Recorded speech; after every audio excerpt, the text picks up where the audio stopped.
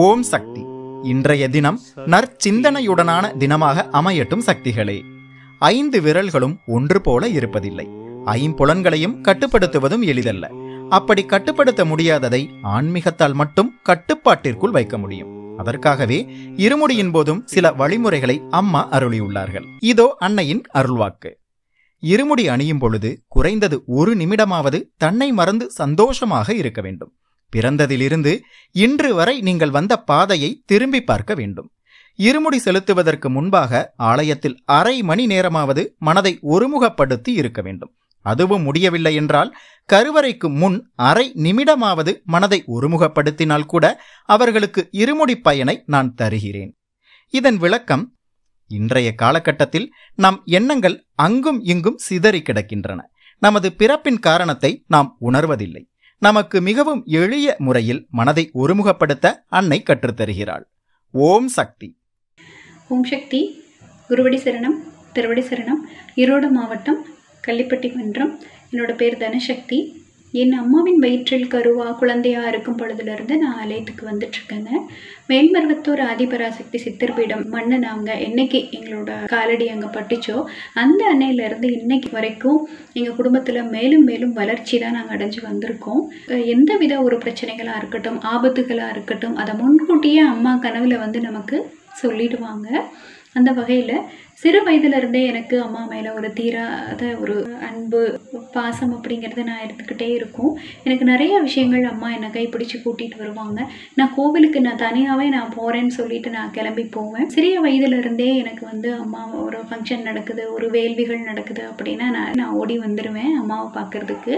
அப்படி இருக்கும் பொழுது பன்னிரெண்டாம் வகுப்பு படிக்கும் பொழுது இறுதி தேர்வு எழுதுகிற ஒரு காலகட்டத்தில் வைரஸ் காய்ச்சலால் பாதிக்கப்பட்டிருந்தேன் எந்த பாடங்களையுமே என்னால் படிக்க முடியலை. ஆனால் நான் படிச்சுட்டு போன ஒரே ஒரு பாடம் என்ன அப்படின்னா மூலமந்திரம்.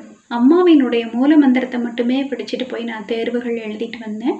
தே எல்லா பாடங்கள்லேயும் நான் தேர்ச்சி அடைஞ்சேன். அதற்கப்புறம் ஒரு பள்ளியில் ஆசிரியர் பணி கிடைக்கணும்னு நான் அம்மா கிட்ட வேண்டுதல் வச்சுக்கிட்டேன். அம்மா அதே மாதிரி எனக்கு என்னை ஆசிரியர் ஆக்குனாங்க. அதற்கப்புறம் கல்லூரியில் வேலைவாய்ப்பு கிடைக்கணும் நான் பணிபுரியணும்னு நான் விருப்பப்பட்டேன். அதே மாதிரி கல்லூரியில் வேலை கிடைச்சது. அதற்கு பிறகு பல்கலைக்கழகத்தில் வேலை செய்யணும் அப்படின்னு சொல்லி நான் அம்மா கிட்ட வந்து ஒவ்வொரு இருமுடிக்கும் ஒவ்வொரு வேண்டுதல்கள் நான் அம்மா கிட்ட கேட்பேன். அதே மாதிரி பல்கலைக்கழகத்தில் பணிபுரிஞ்சேன். அதற்கப்புறம் இந்த சமுதாயத்திற்காக ஏதாவது ஒன்று நம்ம பண்ணணும் அம்மா சொல்கிற மாதிரி தர்மங்கள் செய்யணும் அப்படின்னு சொல்லுவாங்க. அதை ஃபாலோ பண்ணுற மாதிரி ஒரு சேவைகள் செய்யணும்னு நான் ரொம்ப நாளாக என்னோடய கனவுகள் இருந்துட்டு இருந்துச்சு அம்மா கிட்ட கேட்டேன். அம்மா அதற்கான ஒரு நாள் வரும் நீ பொறுத்துரு அப்படின்னு சொல்லியிருந்தாங்க. அதுக்காக நான் வெயிட் பண்ணேன். அதே மாதிரி இப்போது மற்றவர்கள் எல்லாருமே வியந்து பார்க்கும் அளவிற்கு இன்னைக்கு அம்மா என்னை கொண்டு வந்து வச்சுருக்காங்க. கண்டிப்பாக உங்கள் வாழ்க்கையிலையும் இதே மாதிரியான விஷயங்கள் கண்டிப்பாக நடக்கும். அம்மாவினுடைய அருளும் ஆசீர்வாதம் மட்டுமே எனக்கு வேணும்னு எப்போவுமே நான் கேட்டுக்கிறேன். அம்மாவோட அருள் ஆசை இருந்துச்சு அப்படின்னா வாழ்க்கையில் எல்லா வளமும் பெற்று நல்லபடியாக வாழலாம் சந்தோஷமான வாழ்க்கையை வாழ முடியும் அப்படின்னு நான் உங்களுக்கும் நான் வந்து சொல்லிக்கிறேன். நன்றி வணக்கம். உலகமெல்லாம் சக்தி நெறி ஓங்க வேண்டும். ஒவ்வொருவர் மனக்குறையும் நீங்க வேண்டும். ஓம் சக்தி. இதுபோல உங்களுடைய சக்தி மாலை குறித்த அனுபவத்தை MSP YTC at Gmail dot com என்ற மின்னஞ்சல் முகவரிக்கு அனுப்புமாறு கேட்டுக்கொள்கிறோம்.